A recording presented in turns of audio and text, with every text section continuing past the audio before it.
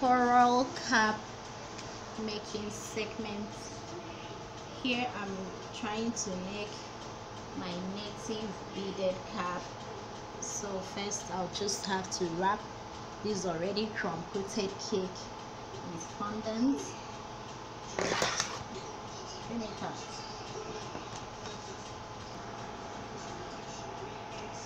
Okay this is not actually going to be a very smooth work because I'm going to wrap it all with coral fondant bead so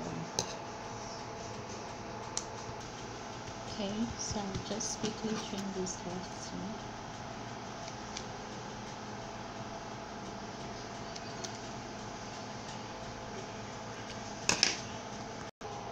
okay these are my already strings string um fondant coral bead which I'll be wrapping around this very cake now.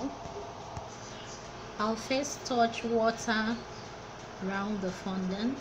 Okay from down I'll start wrapping the coral beads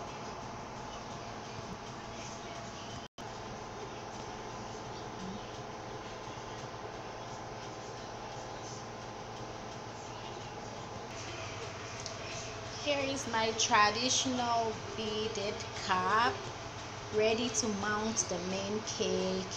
If you haven't hit that subscribe button for me please remember to do it now. Thank you